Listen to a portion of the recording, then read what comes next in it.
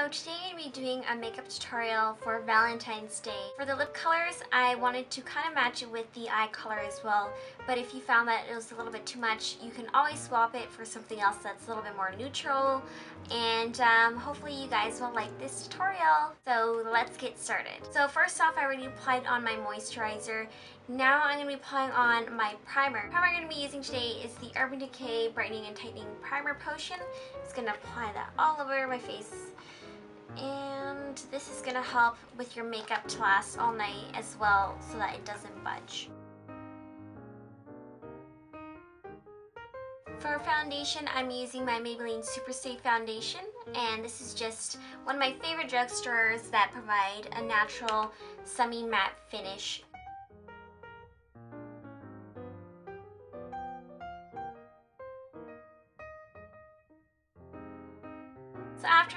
applied your foundation, then you can also start with your concealer. And the concealer I'm using is the MAC Pro Longwear Concealer in the shade NC20.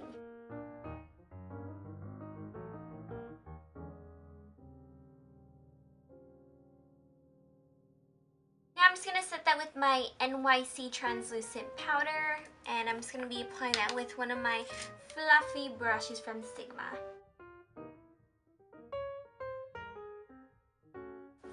My eyeshadow base, I'm going to be using my Maybelline Color Tattoo 24 Hour um, eyeshadow base, and this is in the shade Pomegranate Punk. It's always best applying on your primer with your fingers just because it warms up the product as well, so you're not really tugging on your eye as much. And then I'm going to take a little bit more and apply that right to my lower lash line.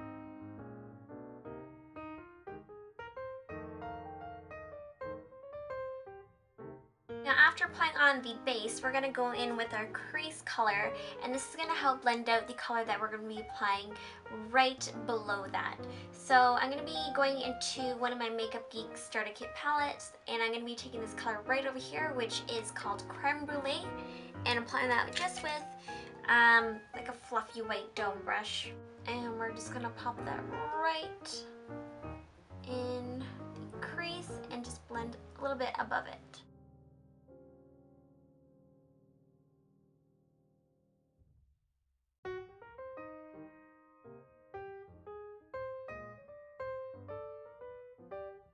After applying on the crease color, we're to start working from the outer corner and then going inwards. So I'm to be deepening up that color now with this shade right over here, which is a deep purple with some sparkle to it. And this one is called Drama Queen and it's from the Makeup Geek eyeshadow collection. And first you want to make sure that you tap on the eyeshadow so that you don't have a lot of fallout because um, like these shadows are very good for pigmentation but if you have too much like with any other product as well like any other eyeshadow you're gonna end up with a lot of fallout. So just tap tap tap first and then once you got some product on then you can start blending it out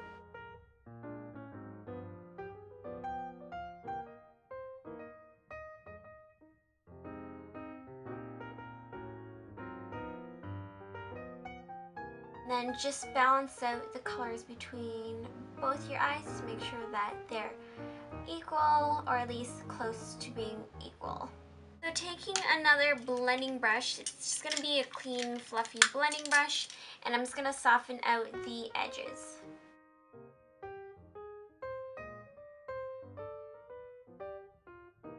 So I'm just taking the purple again and just tapping right onto the outer corners.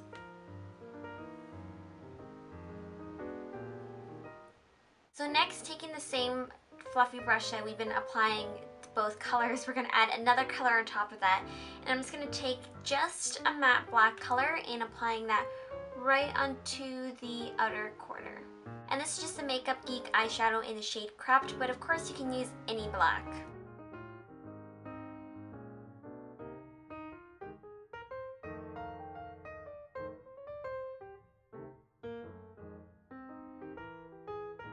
So taking a clean fluffy brush, I'm going to be taking the shade Creme Brulee again and I'm just going to be applying that right onto the outer corners or I guess the outer edges of the eyeshadow just to blend it out once more. but adding a little bit more warmth to it. But you gotta be careful because you don't want to bring your black eyeshadow up with this blending color as well.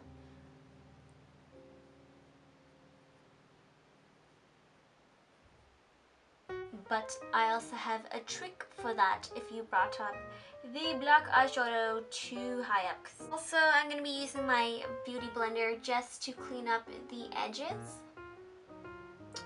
Like so.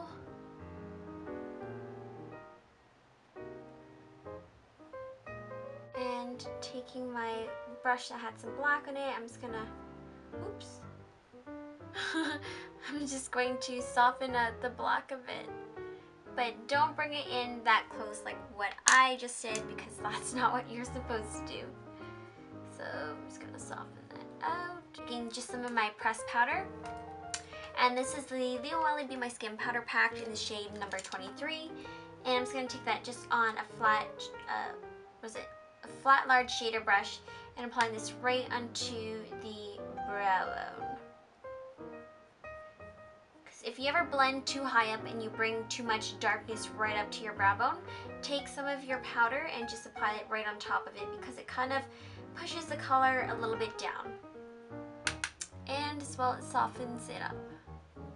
So going into my Urban Decay 15 year anniversary palette, I'm going to be taking the eyeshadow called Junk Show, which is just this fuchsia pink color and it's so beautiful because it has it's pink, but also some purple reflex to it. Taking some of my MAC Fix Plus, I'm going to be applying that right into a flat shader brush.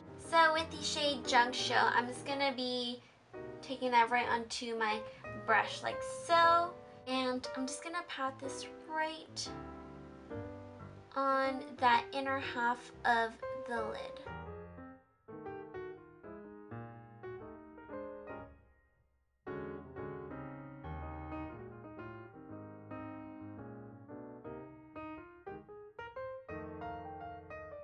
If you want to blend the two colors even more together, you can also take just any kind of purple. And I'm taking this one called Omen right over here. I'm going to apply this to where the pink and the black were meeting before.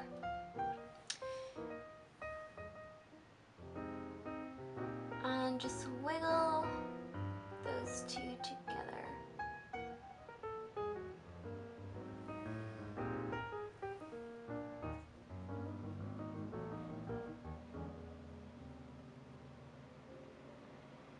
Just taking my black fluffy brush again, I'm just gonna slightly push the black right in towards the purple just to make sure that everything is blended. For the lower lash line, if you don't want it to be too dramatic, you can just stick with just black itself. But I'm going to amp it up a little bit by adding the purple again, which is this shade right over here and that will kind of give it a little bit more pop.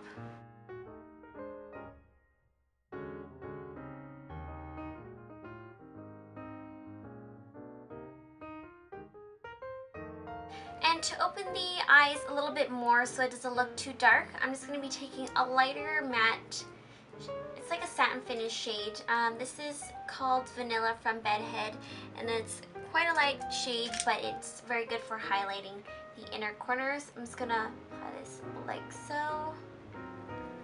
And just apply this right in the inner corner so that it can brighten up the look. And then if you want, you can also apply just a little bit to the tip of the brow bone so it can lift up the look a little bit more. And to add a little bit more pop to the look, as if this isn't dramatic enough, I'm going to be taking my MAC pigment color in the shade Vanilla, and I'm just going to be applying this just with my fingertip, and apply a very little bit amount just to the inner inner half of the lid. So I just have very little on my fingertip, and I'm just going to pat this right onto the center of the lid just to give it a little bit of a pop.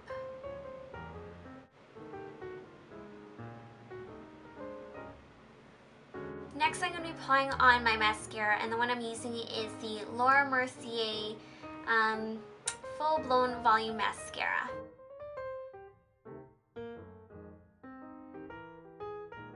As that drying, we can now move on to our brows, and I'm just going to be using my Lioele Auto Eyebrow Pencil in the shade Gray Black.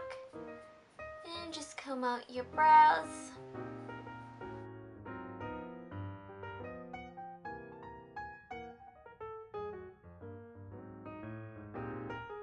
I'm just going to be using my Maybelline Great Lash in the color Clear so I can set my brows. Now I'm going to be setting my foundation with my Lioele Be My Skin Powder Pact in the shade number 23.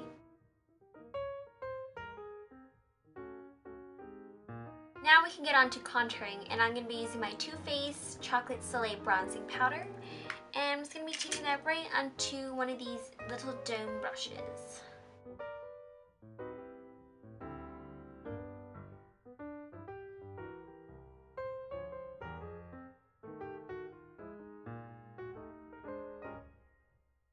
Since our eyes already have so much pink, I'm going to go very light on the blush as well. Go towards something that's a little bit more peachy. And I'm using the shade right over here called Angel, and this is from NYX.